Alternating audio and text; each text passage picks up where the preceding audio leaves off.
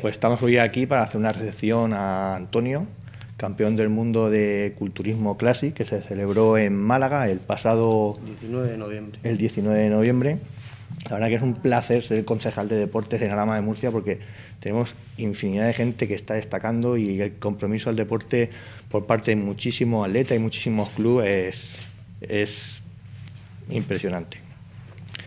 Antonio, queríamos darte la recepción y, sobre todo, pues como el otro día se estuvimos diciendo a, a Rubano y a, y Aarón, ¿vale? que la Concejalía de Deportes va a trabajar para que ellos puedan tener a su disposición las instalaciones eh, cuando necesiten y en las mejores condiciones óptimas para que puedan entrenar. Desde aquí, pues, darte las gracias por la visibilidad que estás dando a Lama fuera de, de nuestra región y desearte mucha suerte en los próximos retos que tengas. Muchas gracias.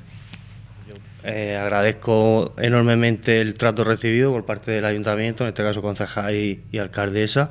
Eh, agradezco también el, lo que me facilita a nivel de poder, lo que me ofrecen, de poder utilizar las instalaciones cada vez que necesite y demás. Y nada, que para mí es un orgullo poder estar aquí. Y, Cuéntanos un poco cómo es tu día a día. Pues mi día a día es ir a trabajar por la mañana y cuando salgo de trabajar eh, voy a entrenar unas dos horas o así y ya voy a llegar a casa y empezar a preparar el día siguiente. Atender a la familia, también que tengo una niña pequeña y ese es el día a día.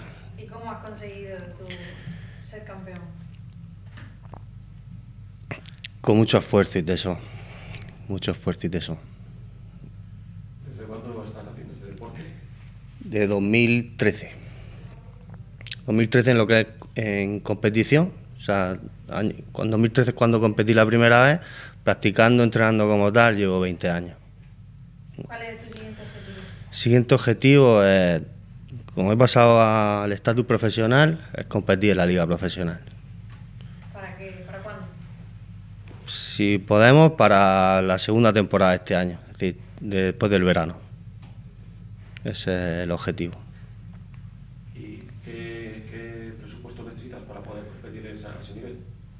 El presupuesto, sinceramente, no, no lo he calculado porque pienso que si me pongo a calcular no, compito.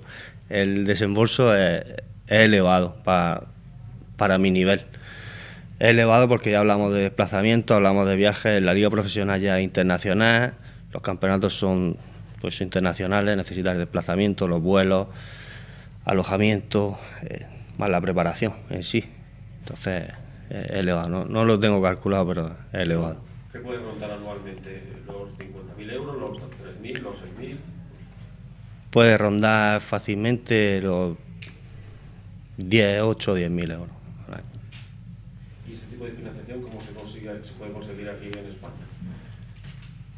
Fuentes que yo conozca o posibilidades que veo pues a nivel de, de sponsor, algún sponsor de alguna marca de nutrición o cualquier sponsor relacionado con otro deporte que, te pueda echar una mano eh, en financiarte. Son las principales. También la gente con el tema de las redes sociales también saca beneficio de ello. creo que pueden ser las dos fuentes principales. Hay que competir fuera y, dentro de la pista. correcto, correcto, sí. Dentro de, de, esta disciplina que es tan, tan complicada y tan disciplinada, ¿Qué es lo que más cuesta? Lo que más cuesta eh, es la alimentación.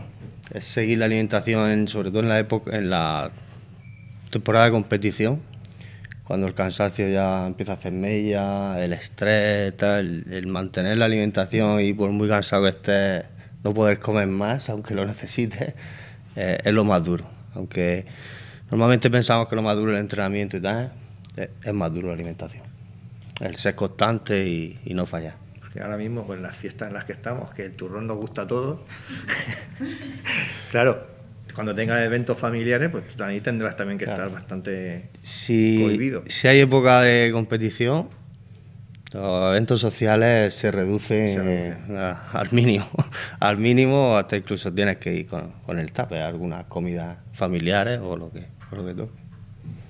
Y luego el apoyo de la familia, ¿no? Que estamos contando con una cría de dos Claro. años. Y el, el apoyo de la familia tiene que ser de la familia y del entorno. Es primordial. Es, es clave. Es algo que yo creo que sin eso no, no se puede no se puede conseguir. que- si no lo tienes, no Hay puedes. que valorar, ¿no? Que estás en un, Sí, sí. un deporte en el que has llegado a esa altura y, y luego el día a día. Estamos hablando de la alimentación, estás hablando del entrenamiento, estás hablando de la conciliación familiar con una cría de dos años que tu mujer, bueno, la tienes que tener Totalmente. totalmente y ya. luego trabajas, ¿no? Som- Porque si no somos, un, trabajas... e- somos un equipo. Somos un equipo. Si, si, y sin el equipo no podríamos tirar adelante. Yo, o sea, yo solo no podría. Claro, es, es- es mucho, ¿no?